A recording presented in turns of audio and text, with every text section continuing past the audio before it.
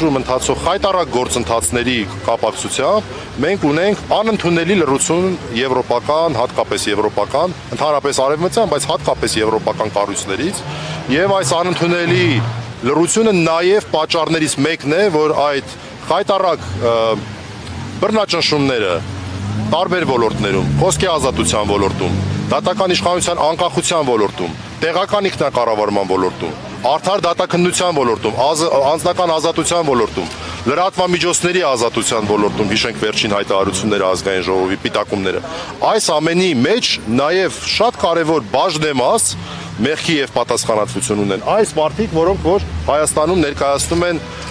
Եվրոպայի միության, Եվրոպական միության այսպես այսպես ասենք ներկայացուցիչներն են Հայաստանում։ Եվ մենք մի շատ կարևոր նաև կարկախոսով ենք այստեղ եղել անգլերեն կարկախոսով you are not EU մենք չենք համարում որ այս մարդիկ որոնք ներկայացնում են եվրոպական միությունը իրականում ներկայացնում են եվրոպական արժեքները այլ այս մարդիկ այստեղ առավելապես զբաղված են իշխող քաղաքական ուժի PR-ով մնացածը երույթիս ընթացքում շնորհակալություն Պարոն Մելիքյան, իսկ ինչով եք պայմանավորում լրությունը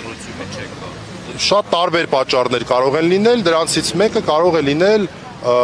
օրինակ այն, որ որոշակի ակնկալիքներ ունեն քաղաքական ոլորտում որոշակի ակնկալիքներ ունեն, բայց առ առավել կարևոր հանգամանք է այն, որ այս լրությունը առավելապես պայմանավորված է օրինակ իմ պատկերացմամբ.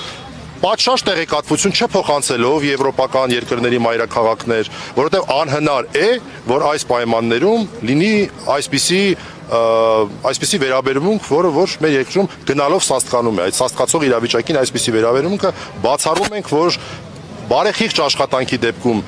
պատվիրակության եւ անձնապես Տիկին դեսպանի այսպես լինել չէր կարող։ Այսքանը։ Շնորհակալություն։ Իսկ ինչ ակնկալիքներ ունեք այսօրվա այս Ինչ դրա մասին մենք խոսենք, մենք ակնկալիքների Սա է, արդյոք ինչ որ բան կփոխվի որովհետև մենք հիշում ենք Տիկին Թրեյսից առաջ մյուս դեսպանները, ընդհանուր դեսպանը գնում էին, ասենք, ընդդիմադիր գործիչների դատականիստերին էին մասնակցում։ Մենք պետք է ահազանգ հնչեցնենք եւ ես ակնկալում եմ, որ սա իր արդյունքը ունենալու է։ Ես գիտեմ ինչպես են աշխատում եվրոպական կառույցները, եթե դու ընդունված պատշաճ ձևով բողոքը եւ խնդիրը չես ներկայացնում, հաճախ այդ բողոքը եւ խնդիրը տեղ չի ասում։ Այսինքն է չագրգռվածությունում է եղել, նաեւ այստեղի տեղի դեսպաններինը կրկնեմ, եթե մենք մեր հանրության այն մարդիկ, ովքեր որ անընդունելի են այս ամենը համարում, որոնք որ գիտեն թե ինչու են անընդունելի համարում, որտեղ փորձ ունեն նախորդ շրջանի, երբ որ դեսպանը օրինակ պարոն Սվիտալսկին շատ հաճախ հայտարարություններ էր անում ժողովրդավարության դիրքերից գնահատականներ էր տալիս։